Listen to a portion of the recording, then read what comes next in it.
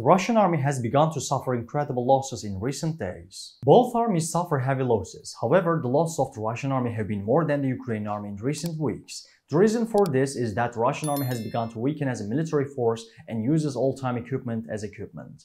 Ukraine can renew its weapons and equipment with the support it receives from the West, but the situation is troubling for the Russian army.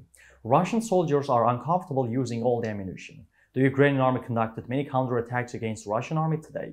The majority of these attacks were in Bakhmut region.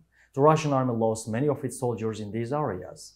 According to the announced figures, the Russian army lost 950 soldiers in two days. To reach all actual news fast and reliable worldwide, please don't forget to follow and like us.